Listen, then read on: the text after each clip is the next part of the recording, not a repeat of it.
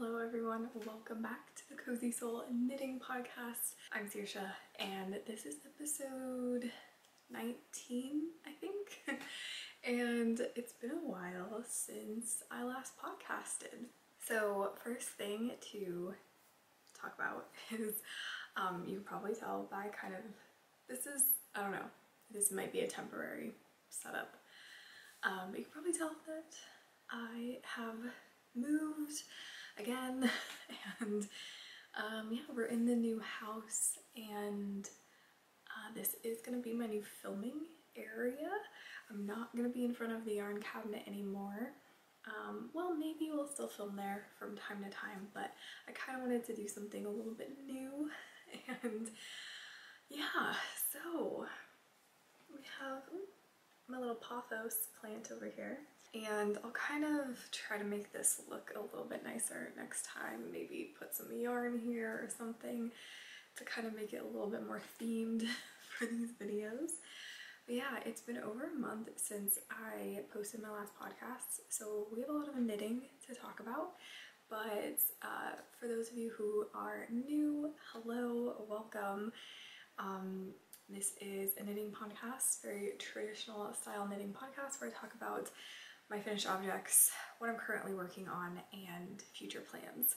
I don't have any acquisitions to share today, and I will talk maybe a little bit about what I am planning on casting on next, uh, but it'll mostly be this time around just finished objects, a little update on my little challenge that I'm doing, which is I'm trying to finish five projects before I buy yarn for new projects. I have a little bit of an update on that and I'm tweaking the rules of it a little bit to make it not as strict just so it doesn't become something that I get irritated by or frustrated with or start to resent.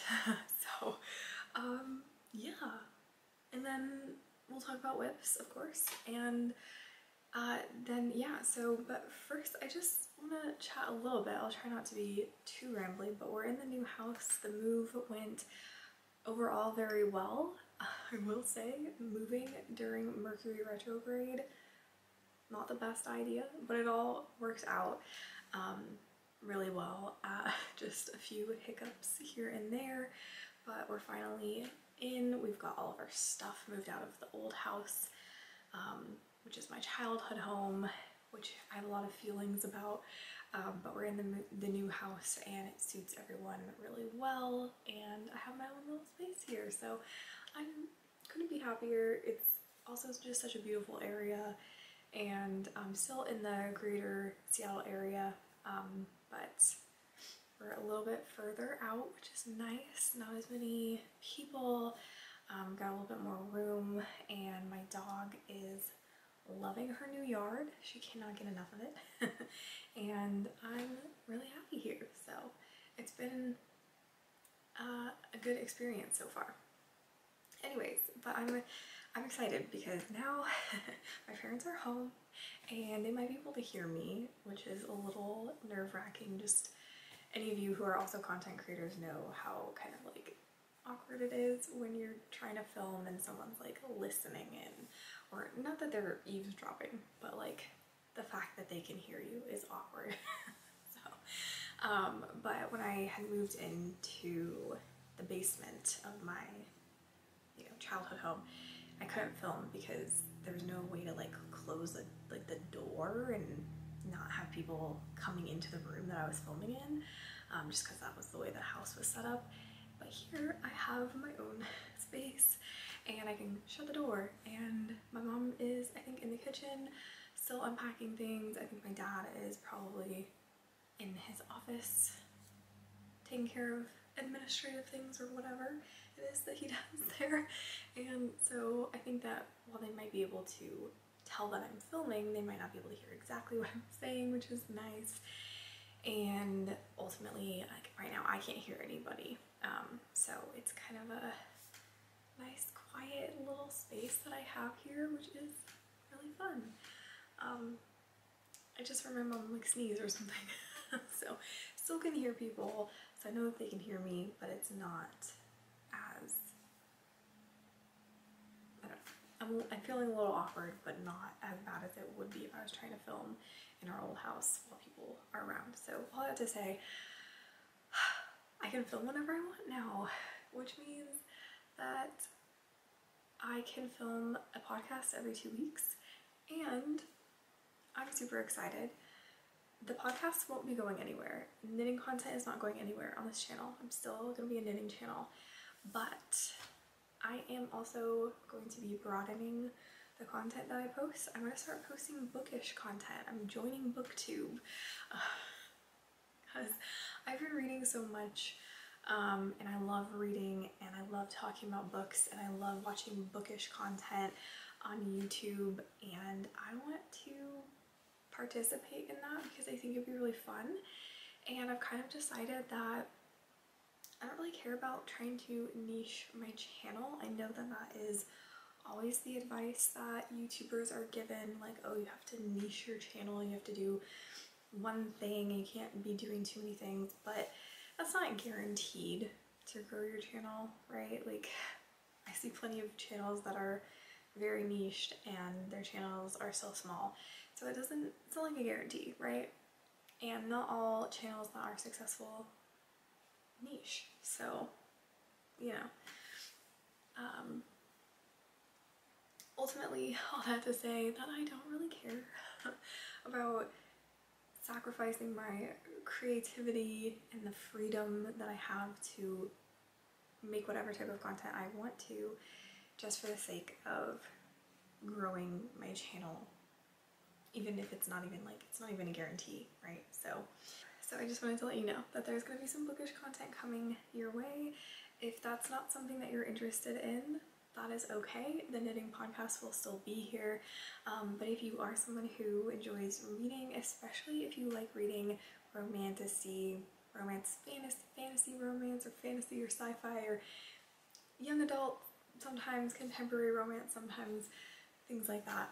That's those are kind of the books that I read. So if any of that is something that you also read, maybe you'll enjoy my bookish content. And if not, that's okay. Um, and then I am currently vlogging as well, so there'll be some vlogs coming out for you. And those will be kind of a mix of talking about my knitting, talking about whatever random thing I'm doing that day, writing. Um, I really do want to vlog more of my writing journey. And also, um, I'll probably throw in a little bit about what I'm reading as well. So it'll kind of be, my vlogs will kind of be a little bit of everything. But on this channel, you're going to find knitting, bookish content and writing content. Not writing advice videos, but like sharing my writing journey. So if any of that sounds fun or interesting to you, make sure that you're subscribed um, and keep your eyes out for new content coming your way because I'm actually planning on filming a video right after this, I think, so that I can get some videos out because it's been such a long time since I have posted.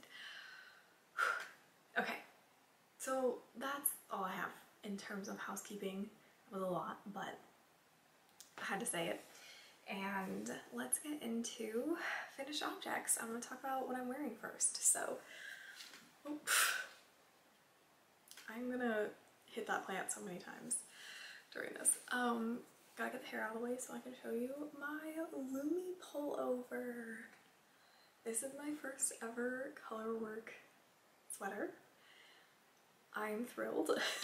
um, this is a pattern by Sari Nordlund and I've been wanting to knit it for a while, but the reason that I ended up choosing it as my first colorwork sweater was because it only had two colors and that seemed like easy, you know? seemed easy enough. Um, seemed like it would be fun and there's the colorwork on the sleeve as well. So it just seemed like, I don't know, seemed like a fun first colorwork sweater to do. I've done colorwork before, but this is the first time doing it a sweater. And I use the yarn uh, Lion Brand, what is it, Fisherman's Wool for the main color, and it's in the natural colorway. And then for the contrast color, this green, I'm using Patons Classic Wool Worsted in the colorway Meadow. Okay, if my hair ends up getting tangled with the plant, please um, don't judge me, but to kind of keep it tamed. I wanted to show you the amount of yarn that I have left left from this sweater. So I actually have a full a full skein of this left still. So this is what's left from the second skein. I knit, what size did I knit? Shoot. I either knit size 3 or size 4. I remember when I bought the yarn, um, I ended up sizing down after I bought the yarn. So I bought the yarn for one size larger than what I knit. But then I was measuring. Um, I guess I should update you on this. I don't know if I've already said this. I think I maybe already said this um, while talking about this. I'm, I'm sorry if I'm repeating myself, but I used to be a 41 inch bust. I'm now closer to a 39 inch bust. Um, it fluctuates a little bit, but so I decided for this one to size down and I'm glad that I did because it still is a, like, you know, it's not true, like, I mean, it is true to size. I, don't know how much positive used, I forget. Um, I'm so sorry, I should know this, but it's not too loose, but not too tight. Kind of the perfect fit. So, um, and this is how much I have left of the contrast color. So, but I also have full skein of this left as well. So, have a little bit more of this yarn. I'll have to figure out. Uh, maybe I'll do some sort of color work hat or something for like a matching thing. Um, but yeah, else? This yarn is a little itchy um, next to skin. I do have a t-shirt on underneath it, but it doesn't come up as high as the collar, so I'm a little itchy right in here. I don't love this collar. It's a little snugger than I personally would want it to be. So I think like, I think normally this is the type of collar people would pop in like an elastic band into. I'm probably gonna let it get a little bit looser just because I don't really like, you know, I don't like that feeling on my neck. So, and it's not the wool, it's just the, the tightness of it. I don't like things kind of coming up that far. Obviously I knew what this sweater looked like before I knit it and I could have chosen to do a different neckline but I was thinking like oh it'll be fine it won't be that high um, but it's just it doesn't it's not my favorite but I think overall it's a cute enough look um, I feel like the sleeve length is perfect on this. I had a lot of fun with the color work on the sleeve because it kind of, oh god.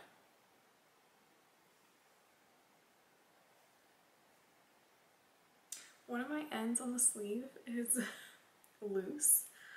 Um, I'm gonna have to sew that in because there's no way I'd be able to weave it in. So we're not gonna mess with that too much. I guess I can show you.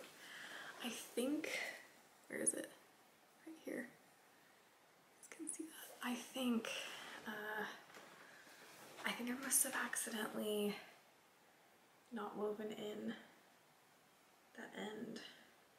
That's, oh my gosh, did I do it here as well? What the hell? I did it on this sleeve as well. I don't know how that happened. Does anybody know how to fix that? I'm, I'm panicking over here because the sweater is just completely unravel. You know, it, it would just be the contrast color, but apparently I didn't weave in my ends and I just cut them, at least for there. That's embarrassing. I feel like that's such a rookie mistake. Um, let's not talk about it. I'll figure it out. I'll like find some thread and tack those down or something. Oh my gosh, I can't believe it I don't even know how I would have done that. That's so weird. Anyways, um, I would use this yarn again. It the um, Patons is a little bit, you know, softer than the fisherman's wool. I really like the fisherman's wool. It's very woolly, um, kind of more on the rustic side, I guess. I would definitely knit with it again. I would knit with both of these yarns again. I would knit with them both together. I felt like they worked well together for this colorwork sweater. And um, I would definitely knit this again if I wanted another color combo in this sweater. I don't know what else to say about it. I feel like I'm a little out of practice with my podcasting, so I don't know um, what else I need to say about this sweater. Uh, you guys can't really see because I'm short, but it comes down to about where the hem of my pants usually is. So it's a little bit more cropped than the pattern probably said to knit it, um, but that's normal for me. I always make the bodies a little bit uh, shorter just because I'm shorter, so that makes sense. Um, and then the sleeves are, you know, a really good length because they're, you know, ones that I can kind of pull over my hands a little bit, so that's perfect.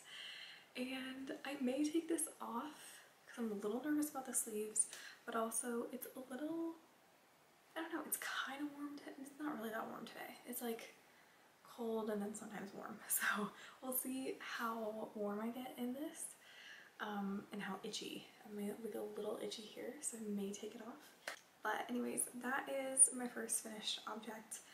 Apologies if I forgot to mention any details about this in my experience knitting it, but overall I really enjoyed it and I think if you're looking for a first color work sweater to do, this might be a really fun one. Um, I might, you know, if you've never done color work before, you may want to try it on something smaller like a hat, but if you're looking to do specifically a color work sweater and you've never done one before, I'd say that this is a pretty good pattern to start with. I felt like it, yeah, it, it didn't, it explained everything. So um, and I did go up the, like, it's suggested to go up a needle size for the color work than what you're doing for the main stockinette portion. I did do that and I found that that worked out really, really well. So um, I liked that that was included. I don't know if patterns kind of sometimes assume that you would naturally do that or if you don't always do that with color work, I don't really know. So I just followed the pattern. I did, oh, that was the other thing. I knew I was forgetting something. I did do the optional short row shaping. There's some short row shaping after the color work yoke and then there's another section of short row shaping for the hem. I did both of them. So the hem, like the, the um, sweater, I don't know why I'm losing words. The sweater is longer in the back than it is in the front. I would show you, but I, I'm not tall enough to show you on camera. I'd have to like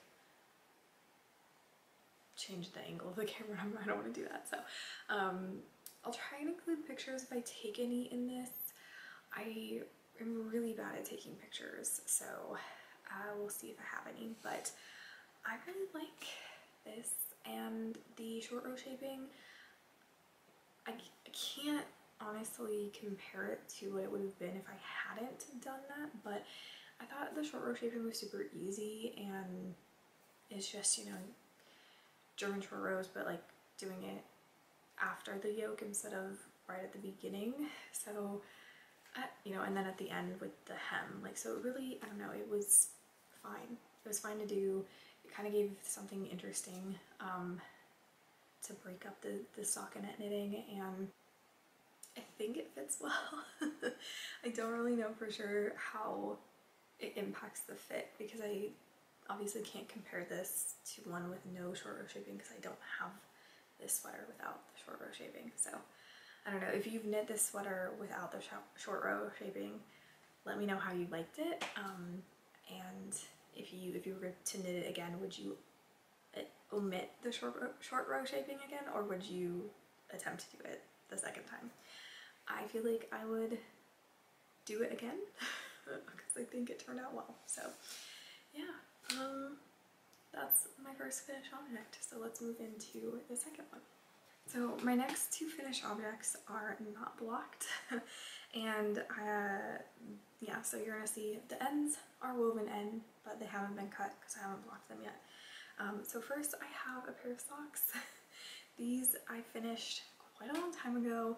I want to say, did I have one of these finished in my last podcast? I don't know if I did or not. But I whipped out the second sock really quickly because once I got one done, I was like, I want these. I want this pair of socks. But of course, when I finished, that was when I started packing. And I just didn't have space to block things. And I also think I had kind of started to pack up a lot of my stuff. So like, I didn't have my blocking things accessible at the time. So um, that is the order of business for the next couple of days. I need to get some stuff blocked. But these are just vanilla socks. Um, I used the Sewrella Taylor Swift sock set in 1989. Um, so this main color is 1989. I'm not sure what the contrast color is called, but it was a sock set. And I did um, contrasting cuff, heel, and toe. And I had plenty of the contrast color left over. I was a little worried, but we had plenty left. So um, I think the next time I do one of these sock sets from Sewrella, I will probably go ahead and do cuff, heel, and toe like I did for this. So yeah, um, the contrast color weirdly felt like it was overspun. It was like winding up on itself when I was working with it, so it was a little annoying, but, overall fine. And then, um, I don't know, this main color is so soft. It was kind of starting to, it was kind of starting to pill as I was working on the sock. That has never happened to me before. Um, where I started, where things started pilling before I was even done with the project. So that was a little weird. Um, and this is my first time working with Sewrella yarn. So definitely gonna be keeping my eyes out um, next time I work with their yarn to kind of see if it behaves the same way or if it was like something specific to the sock set that I had. But overall, I love these socks. I love how they turned out. I think they're super beautiful. Um, and I cannot wait to block them and then wear them. So those are um, another pair of socks down. Very excited. um, and then my next finished object is actually something that I casted on after my last podcast episode. So casted on and finished, um, which is not saying anything literally because it's been over a month since I last filmed. So obviously it's not like I knit this super fast, but I did knit an Oslo hat. Um, this is a hat for my mom and I knit it in uh, some hand-dyed yarn from Coastal Yarns down in Cannon Beach, Oregon. Um, this is in their Sneaker Waves DK, no, not DK, their fingering base, their, their sock base. It's, um, I can't remember, I can't remember. It's got some percentage of nylon, but I don't know if it's an 80-20 or, it's probably an 80-20, but I don't remember specifically. I had a little bit of a skein left over after I knit my mom a pair of socks for Christmas, and I had a full skein of this colorway, which is Oswald West. And you can probably tell where I switched from using the old skein and the new skein to where I was just holding the new skein um, with the outer strand and the center, like pulling it from the outside and the center together. You can probably see where where that was because the second skein I had of this, which is at the top, um, had a lot less of the white in it. It was definitely darker. Um, so it's a little weird, but overall I don't think it looks that bad and it kind of matches where you fold the hat. So it kind of almost looks like the brim is knit in a different, slightly different yarn. So I don't know, I think it gives the hat character and um, this has not been blocked by the way, I think I already mentioned that. But yeah, it's for my mom. It's a little snug. It's a little snug. Um, I think once I block it, I'm really gonna like stretch it a bit because, um, sorry, I feel like I need to put this on a little bit differently. It's just a, it's a little snug on the head, but I think she'll get, you know, a good amount of wear out of it and stretch it out with wear a bit. So, um, I feel so sorry. Poor plant. Keep hitting it. Uh, I think it'll end up fitting her rather well. So yeah, and then I will um, kind of, I'm just going to give it a little bit of a stretch, especially around like this portion when blocking it. I'm just to give it a little bit and see if it, because it should loosen up a bit too with blocking. But um, yeah, uh, this is my second Oslo hat. Um, this is my first time knitting it with fingering held double, which I really enjoyed.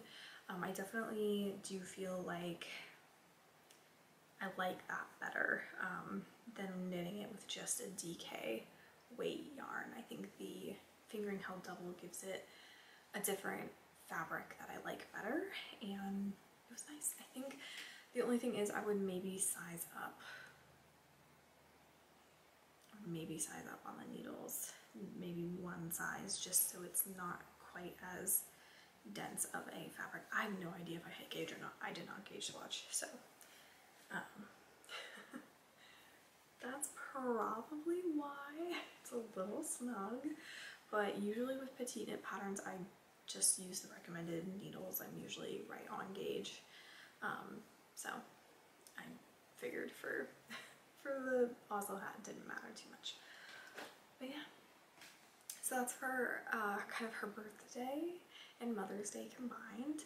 And I also cast it on when I did because the Chesley toque that I made her for Christmas as well, um, she unfortunately, so when we were visiting this house, like when we were touring it before we bought it, um, she left the, the Chesley toque, toque here. And then the owners, previous owners found it and said that they were going to leave it here for us, but then we came back to do like a final walkthrough and the um, like husband of you know the family like he couldn't find it. He asked his wife and she was like oh I put that in the donations bin. And or like their donation like bags that they were planning on getting rid of. And even though he had told her to like leave it out for us so unfortunately we think that they donated it which is really sad um, because obviously I made it for my mom and yeah, so it's unfortunate, but I will make her another Chesley toque at some point in the future and for now she has another hat. So yeah, but I wanted to get that replaced for her because um, she really loved the Chesley toque and I just feel bad that we weren't able to get it back even though it was so close, you know, we were like, oh, like at least we didn't leave it somewhere, you know, she didn't leave it at like the grocery store or something we thought, you know, since she left it here, like we would get it back. But in the chaos of moving, I think they, the sellers just accidentally donated it instead, which sucks, but it is what it is. So now my mom will have a new hat. Also, sorry if the lighting keeps changing. The sun is definitely going in and out of clouds. I do have my ring light, but you know, it can only do so much. so, okay. I'm gonna talk about WIPs now and I think I'm gonna go ahead and take this off because I'm just getting a little itchy. And I'm nervous because like I said apparently I did not leave in the ends on the sleeves and I just cut them so I need to be careful with that. But let's go ahead and look at I've got some fun WIPs to talk about. The first one that I want to talk about is one that was a inactive WIP. like it was languishing. I hadn't touched it in a while. I stopped talking about it on the podcast. I brought it back as an active WIP, but it's also now once again a languishing WIP. So I worked on it a little bit. I think I already I already talked about it in the last podcast, so I, I lied. I've already talked about it coming back into my rotation, but I'm going to show you the update but then it's it's gonna it's it's already back out of rotation because it was really hurting my hands so I'm taking a good long break from it and I will come back to it later and hopefully it won't hurt my hands at that point but I have my Barbara shawl so as you can see it's grown I think I don't know a good amount I don't remember where I was at the last podcast I should really put in a progress keeper. So there's a progress keeper. So when I do bring this back out, I'll be able to show you um, how far I've gotten. But yeah, this is, sorry, did I say this is the Barbara shawl by Gregoria Fibers. I have already talked about how I feel about the pattern. It's not my favorite um, in terms of how it's written, but I love the pattern. Like I love knitting on it and I love the stitch pattern and I love how it looks, but I'm just not a fan of how it's written. But I won't go into detail on that because I've already talked about it in other podcasts. but yeah, this uh, is going back into my inactive WIPs. I'm taking it out of my rotation because it was really hurting my hands. I don't know if it's the gauge or if it's the needle size. I'm not sure. Maybe it's a combination. Um, but it just really was hurting my hands. I think my hands were already hurting because I tried to race through the Lumme sleeves. I think I hurt my hands and then I was working a lot on this and it was aggravating them even more and then it just got worse. So when I stopped working on this, that's when my hands started getting better. So I'm just taking a long break from it and we'll come back and see how it goes. But this is knitting up um, really beautifully and I'm very excited for the finished object. The yarn that I'm using is more yarn from Coastal Yarns. It's their Sneaker Waves DK base and this one is in the Color Driftwood. Um, oh, and I did start on the second skein of it, so yeah, progress. I finished the first skein. I'm on the second one. I have two more, um, and if it doesn't seem like the pattern, like when I go to start doing the decreases, if I feel like I still have a ton of yarn of the second skein left, I might make it even longer or even wider. I might like keep increasing until I'm closer to running out of the second skein and then I'll start doing the decreases just to really maximize my yarn usage. But we'll come back to this at a later date just because I do want to continue to give my hands a break from this, but kind of miss it. It's a really fun project. And then I have another sweater on the needles to show you. And I'm, yeah, I had I think in my last podcast I just started the back panel for this. Um, so now I've got quite a bit of progress. I have almost the, um, well, I probably still quite a bit of the body still left, but we're joined in the round and this is my Oslo sweater. I've done the collar, however, I don't know, I'll try and bring this close. I don't know if you guys can tell. It's kind of skewed. Like the collar looks a bit twisted. And I don't know if it's how I picked up stitches or if it's something else that how I sewed it down. I don't know. I've never done a collar like this before. The Lumme pullover, the collar, you knit that first, but then you don't like fold it until the end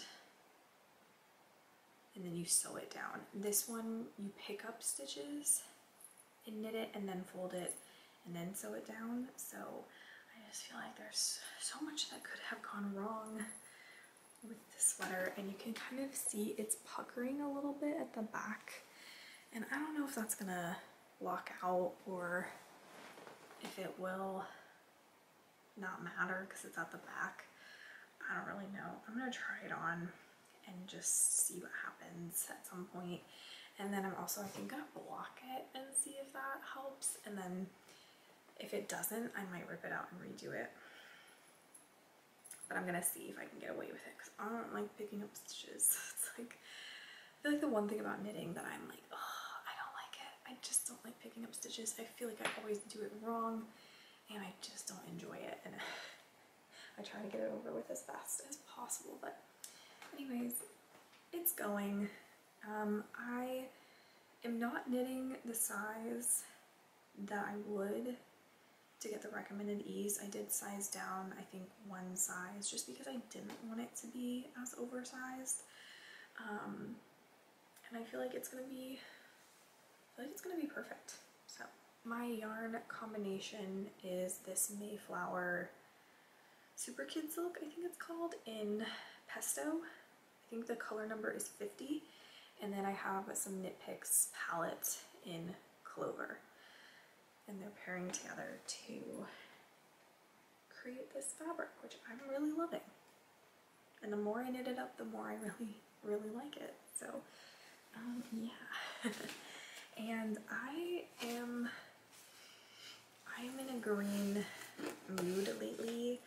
I think you guys are gonna get tired of how many green garments I end up knitting because I, I actually, oh, I forgot to talk about this when I finished my finished objects, talking about those.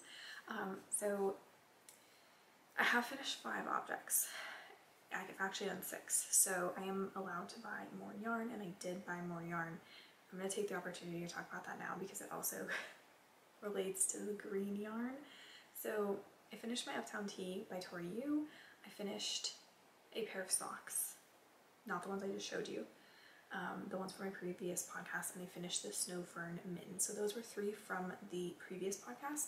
And then I finished the Lumme pullover and then another pair of socks. So that's five projects that I finished, meaning I can buy yarn for one project. And then since I finished the Oslo hat, I have four more projects to finish before I can buy more yarn. However, I have, I always kind of, I don't know if I said this, but I always kind of had it in my head that if there was a hand-dyed yarn like pre-order or something that I knew would be like limited stock that I wanted to buy, that that's not included in this just because that type of thing, like it's a limited edition or, you know, it's just like if I want it, that's the only time I can get it. And I'm not gonna use that as an excuse to just buy a bunch of hand-dyed yarn. But when I do see some hand-dyed yarn I wanna buy and I wanna support the hand dyer, like I wanna support indie hand dyers as much as I can. Um, and without, you know, over consuming and spending too much money. So I did buy uh, some yarn from a collection that just launched today that I really saw it and I was like, oh, it's so beautiful. Like I really want to knit that. That looks so much fun. Like, so I did. I, I bought it. Um, and that does not count towards my my whole thing. That's out of that. But I did buy some yarn for a new project um, from Knit Picks and Knit Picks was also having a yarn sale on sock yarn and so I did get some sock yarn because I just also feel like I don't really want to include, yes, I'm including socks in my finished projects, but I don't want to, if I see a sock yarn that I want to get, I just want to be able to get it. Do you know what I mean? Like it's such a small thing. Um, and I feel like every once in a while buying some sock yarn is gonna just kind of, you know, be like a fun little treat for me. So I just don't want to include it in this, especially when it's on sale and especially when it gets me free shipping. So um, I did buy some sock yarn because it was on sale and it's, in just my opinion, it's outside of this little challenge that I'm doing. And some of you might be like, oh my gosh, you're cheating. But you know what, it's this challenge is mine, it's for me, so it's whatever feels right for me and that's what feels right for me. So but for like garments and bigger accessories and stuff, I am trying to stick to that five out, one in thing. Um, but the yarn that I bought for the garment, for my one in, um, is green. it's also green. Um, and I'm like, I have too much green stuff, but I'm just like obsessed with right now. I don't know. Um, oh god. So speaking of green, my next project is also green, olive green. Um, and I'm so excited. I don't, yeah, I did not have this casted on when, uh, for my last podcast. So I don't know how to show you this. I'm already showing it to you, but um, looks really ridiculous right now. This is my Leith cardigan. This is a pattern by Rebecca Clow, aka the CreaBea here on YouTube. Um, and I'm specifically doing the Boucleith, which as the name suggests, has boucle yarn. So this part right here is um, Explorer Fibers, uh, Explorer Knits and Fibers boucle yarn. And this one down here is their Suri uh, paired with their Earthy DK base and uh, what am I saying? The, all the colors are Olive Grove from the Spain collection. So yes, it's beautiful. It is stunning. I'm obsessed. And um, what am I currently working on? Okay, I'm currently working on the, so let's see, this is the, this is one of the front panels, the front left panel, this is the front right panel, And as you can see, um, once I was done with the back panel where you're doing in, um, Intarsia, which, oh my gosh, can I also just take a minute? Um, I thought Intarsia would be so complicated. It just seemed, I was like, how I couldn't fathom how it worked. And it's literally the easiest thing. It is easier than color work. It like like the Lumme, like the stranded color work, like on the Lumme sweater, is easier than color work. It is easier than cables. It is easier than lace. It's easier than literally anything um, other than like stockinette knitting. Uh, so yeah, don't let this cardigan like intimidate you with the intarsia because if you've never done it before, like it's. I was shocked. um, so when you're doing the intarsia and you're just working back and forth across the back panel, you can count because you can't really count with boucle like the yarn like or the rows like you can't really read your knitting. So I was just counting like okay this side has this many rows so this side also has that many rows. So I would just count. But then when you're doing the front panels you're not doing the intarsia anymore. So on the same row you don't have the um, this easier to read section to know how many rows you've done. So I've been doing stitch markers just putting in um, light bulb stitch markers every single row as I do them so that I know how many rows because boucle is really hard to work with in that way. Um, so I've been really making use of stitch markers. And um, other than that, it's been super easy. It doesn't look like anything right now because it's just a bunch of random fabric. I've got stitches on hold over here, got stitches on hold over here. That's the armhole where my face is right now. Um, and there's an armhole over here, so a lot going on here. And yeah, there's so much yarn happening. Um, so I'm not gonna pull out the yarn like this, the cakes because they're all tangled together. It's gonna be a mess when I go to work on this again. But that project has been so much fun. I would highly recommend it if you've been looking at that, doing that cardigan. Um, I'm kind of obsessed with it and I really would love to knit just like a regular version with different colors. I also feel like it could be a really fun way to use up, like if you had a couple like maybe a skein or two of different colors you could kind of and then you get like a main color for it kind of make it into a bit of a scrappy type of thing and you can play around with like how thick the stripes are and all of that so it's just really fun and I'm yeah low-key obsessed with it so and I'm just really enjoying it so I definitely recommend this pattern it's pretty straightforward easy to follow and again like I said the intarsia on this. Like it's just so easy. It is literally the easiest thing and I thought it was gonna be so hard and so I kept kind of putting it off. like I had the ribbing done for the body and I just, like the hem, and I was like, oh, like I wanna start, like I wanna keep going with this project but like the entire is gonna be so hard.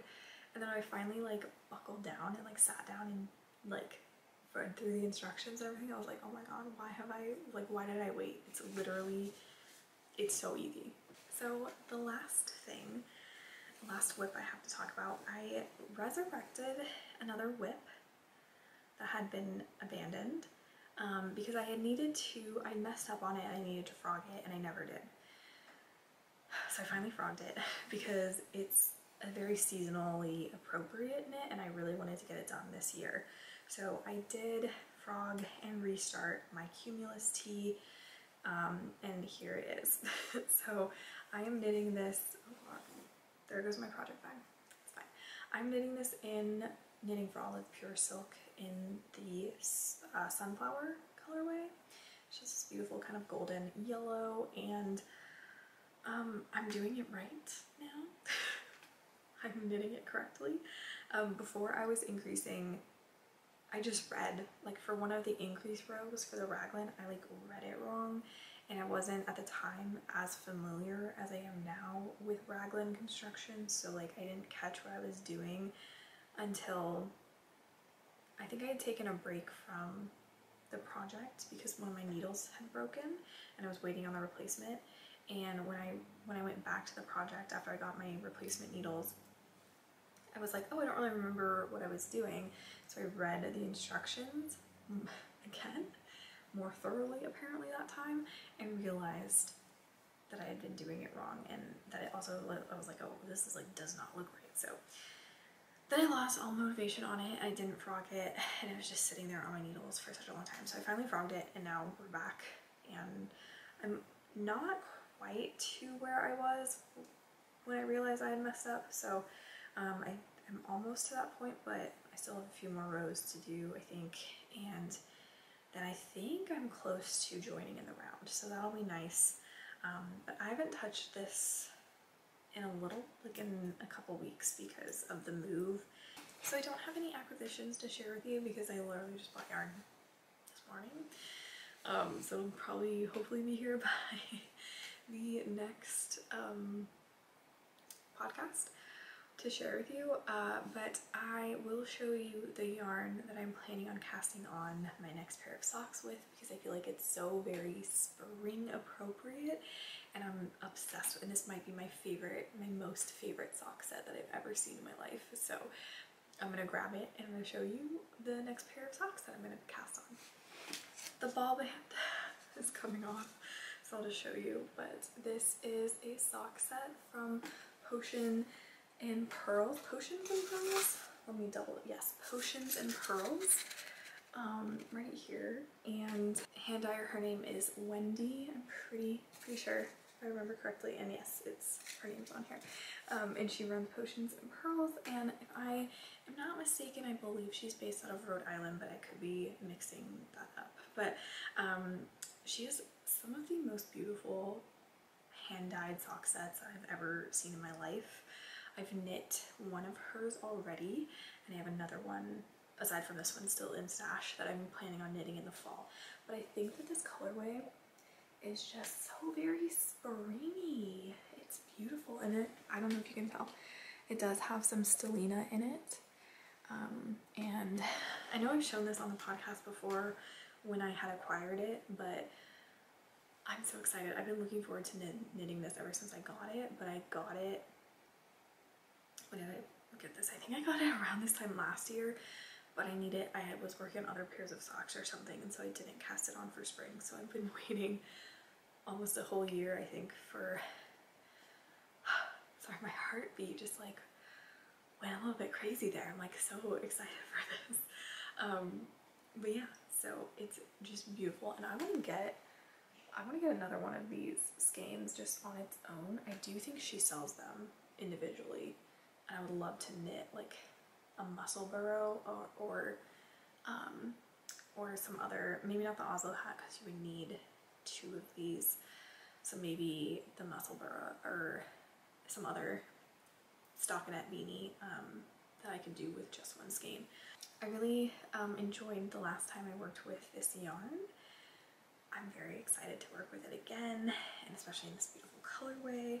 Um, I will leave her Etsy shop link down below if you want to get your hands on this. I do think the last time I was poking around on her Etsy site, I do believe she still had this. So oh, I will leave it linked down below, but I'm planning on uh, casting these on soon within the next couple of days because I do miss having socks on my needles. So this will hopefully make an appearance in the next podcast. And yeah, I do have yarn on its way when it gets here I will be casting on, but I will share that when the yarn is here and talk more about it then.